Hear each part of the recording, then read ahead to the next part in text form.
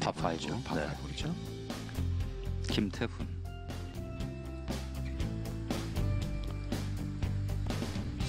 오, 이글 기회네요. 김태훈. 지난해 공동 27위.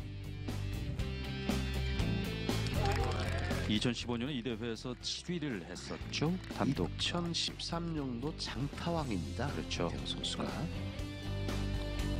허인회 선수군요. 선수 일본 투어와 한국 투어를 병행하고 있는 선수입니다. 올해 일본 투어 다섯 개 대회 나왔었고 역시 기회를 만드는 허인회.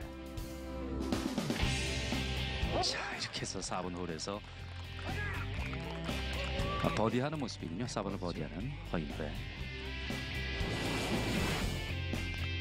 다섯 번째는 이제 파4입니다. 국가대표 장승보.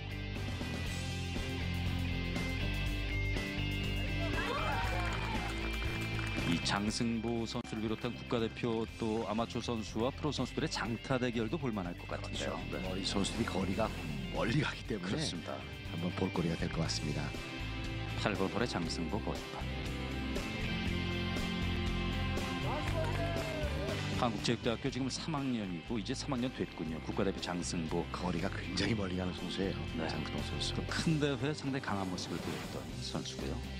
파5 홀입니다. 9번 홀. 두 번째 샷이 지금 벙커 쪽으로 빠졌고요. 오른쪽 벙커입니다.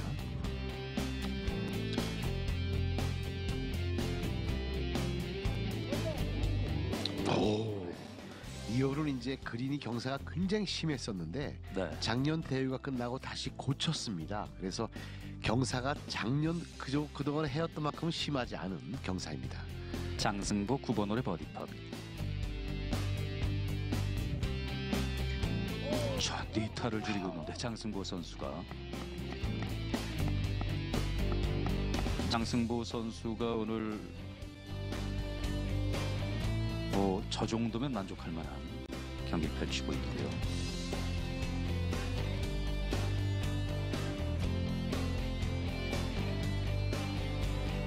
아, 이건 조금 약하네요.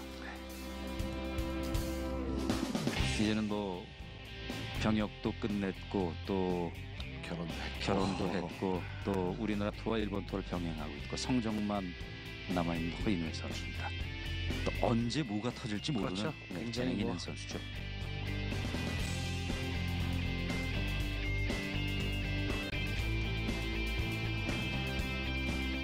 네, 김태훈 버디. 이 허인회와 장승보, 김태훈 세 선수의 거리 싸움도 이게 참 대단했었죠. 대단할 거고. 네.